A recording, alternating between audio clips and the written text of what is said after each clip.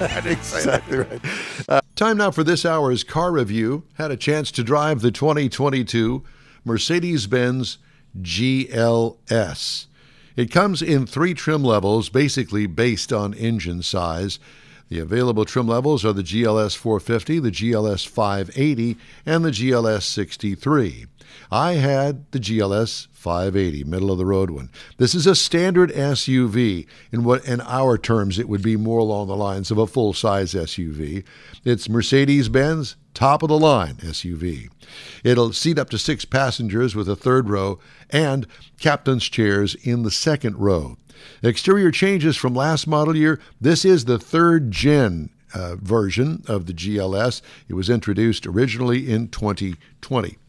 Exterior features include sleek, long, conservative lines with an attractive, modern grille that has a huge Mercedes Benz TriStar emblem smack dab in the middle of it. Uh, small side steps from the front to the back doors, and integrated quad exhaust tips, very attractive wheels as well. What I liked about it, Mercedes Benz does it right with this design. You'll think the same thing once you see it. What could use improvement? I just put a big X there because I don't know what could use improvement. I like the overall look of this GLS. Interior highlights best dash layout in full size form and function, and it stretches two feet across from the left hand side of the instrument cluster all the way to the infotainment system in the middle of the dash subtle ambient lighting that has multiple colors to choose from. The infotainment system is controlled by a touchpad on the center console, or you can touch the screen as well. Beautiful upholstery and comfortable perforated, heated, and cooled seating. Wow, it's good.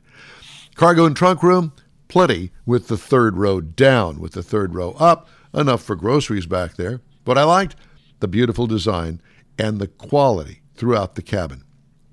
What could use improvement? Some buttons and control switches are a little bit too small for me and hard to read. They could make those a little bit bigger, I think.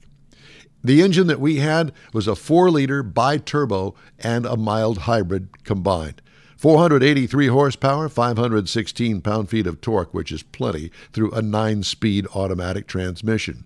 As far as fuel mileage, 16 city, 21 highway for a combined of 18. That's what it's rated on the sticker. I got 19.4 miles per gallon over 404 miles. What I liked about it, that smooth V8 power. There is nothing like it. What could use improvement? Nothing. If you want to go to the bigger 63, I think it's over horsepowered. But hey, if you want to blow it out of the water, that's the way to go. Ride and handling, controlled comfort with that air ride suspension. What could use improvement? Well, if you want to go off roading, buy the G Wagon. This is not that. Pricing base trim price $101,250.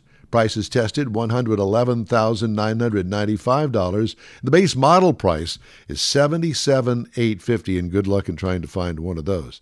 Competitors include the BMW X7 for surprisingly enough, the same price uh, base model of the uh, Mercedes-Benz, $77,850 for the BMW, the Infiniti QX80, $73,000, and the Lexus LX 600 starts at $86,900. Overall, an absolutely stunning and beautiful vehicle. Well, that's my review of the 2022 Mercedes Benz GLS 580. Get out and drive one if you get an opportunity. Hope you enjoyed the review.